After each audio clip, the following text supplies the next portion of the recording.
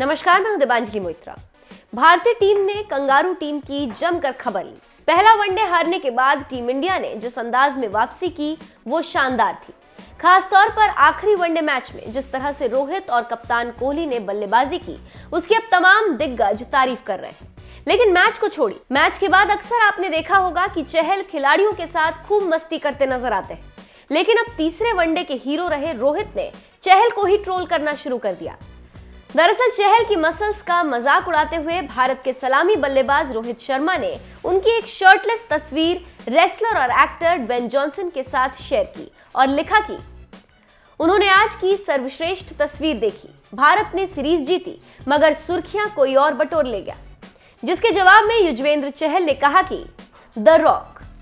दरअसल the Rock Dwayne Johnson का ring का नाम है।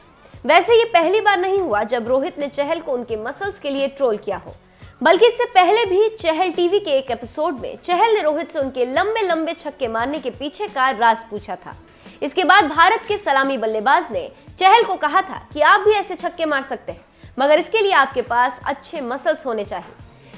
खैर, खेल के साथ साथ इस तरह की मस्ती भी होती रहनी चाहिए, ताकि खिलाड़ियों में आपस में एक अच्छा रिश्ता बना रहे।